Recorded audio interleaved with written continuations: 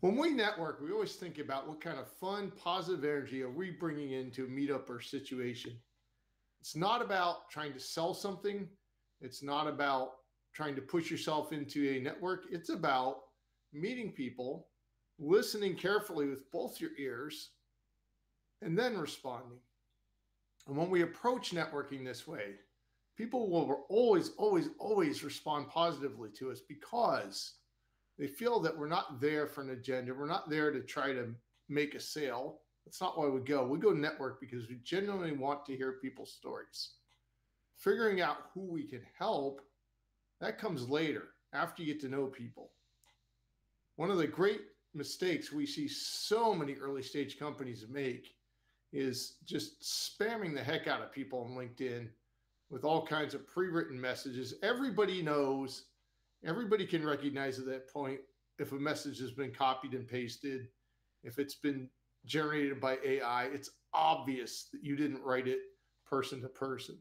So, Mess, what are some of your favorite ways to make contacts with people? Well, to the one on LinkedIn, actually, we have a video on that. Click the card up in the corner to go watch it. There is, I find that there is one way to do it on LinkedIn that you kind of take a bit of both worlds. And that's the way I talk about in the video I mentioned, which is basically you find like a Gary Vee, a Mark Cuban, some some famous person that has a big LinkedIn following that you actually genuinely like. And then you go into the comments of that person's section, uh, their, that person's comment section to find new connections and you just go and click people's profile, see who you want to connect with. Then you send them a quick message like, I saw your comment on Gary Vee's post. It and it really spoke to me. I've been a fan of Gary for a long time. I learned good people attract to each other. That's something along the lines of what I do, and that you can basically just copy paste, and it, it works wonders. I have too much to do on LinkedIn at the moment, actually. But generally it's about as Mike talked about, it's about building connections. It's not about getting that sale because people can feel that. You can feel that. Just think about your LinkedIn inbox and the people you like talking to that reach out and the people you don't. People you don't generally try to sell you something off the bat that's not relevant. No, actually. And a few. Yeah, go ahead, Mike. Well, a few tips for an in-person meetup. So obviously, you know that you need to dress decently figure out what most people there, you know, is it going to be business casual? Is it formal? Is it, you know, very informal? What is it going to be? Try to dress one notch above that. When you greet people, greet them with a smile in your eye. Make good eye contact and be happy inside. When you're happy inside, your eyes are smiling. People feel that energy. Shake hands and watch what you say it's never about trying to present yourself or trying to be the big shot or make a big entrance. It's about making the other person open up. And you get the other person to open up by being genuinely friendly and genuinely welcoming. How do you do this? Sometimes, as a startup founder, early stage business person, you're a little bit not quite sure how to do this because you're so into your own thing. And one of the best ways is to ask a question not related to business. Something like, hey, there was this cool event here last week. Did you go to it? It has to be genuine. It has to be something real, and it has to be something that's safe that you could ask anybody. So keep it G rated. Moss, what are some of your um, more practical tips for doing an in person meetup and talking to new people?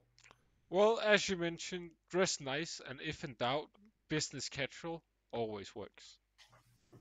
Always. You, you I just generally, when I'm in doubt, I, I go business casual because you don't want to stand out too much. But find ways to be interesting to other people, and people like to talk about themselves. So ask them questions that you're generally like interested in.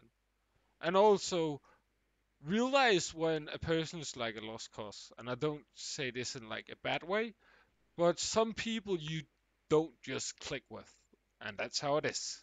So stop trying to speak to each other if it ain't really working. Say you gotta go to the toilet, and then find somebody else to speak to. no, uh, generally do it. Generally do it because you're wasting both of you guys' time.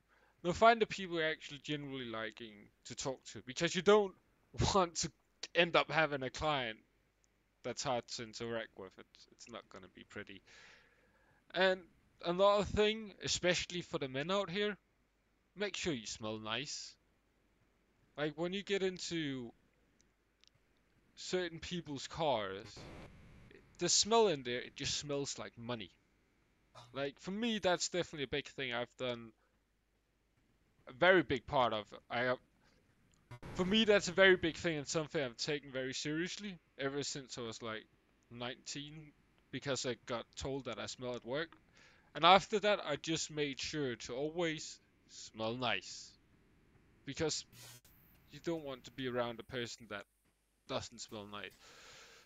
So I think that's definitely the most important things when in person. And just go in and before you go into any room or stuff like that, actually have a look at yourself in the mirror. Make sure you look presentable. Because the worst thing that can happen is these intrusive thoughts come into your head. And then all of a sudden, do I have something in my teeth or do I have a spot on my cheek? Something like that. And it's like, no.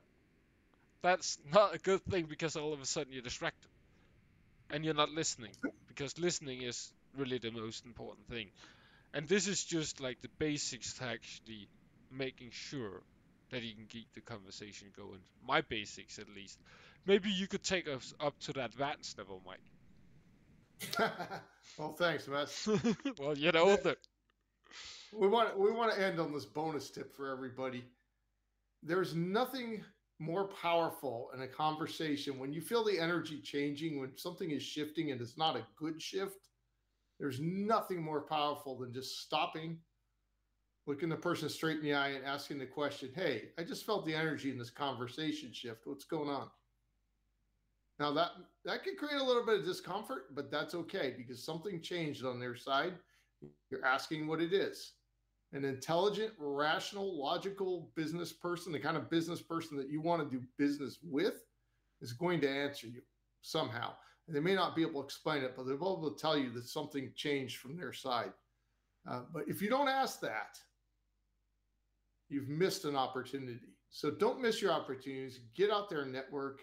And of course, you can always practice on us if you need, feel the need to practice with some guys that are totally safe. Um, if you want to do that, just send us a message totally on LinkedIn. Safe. We'll see how that goes. Not any promises. I'm not making any guarantees, Mike. Well, one of us is. All right. Thank you for listening.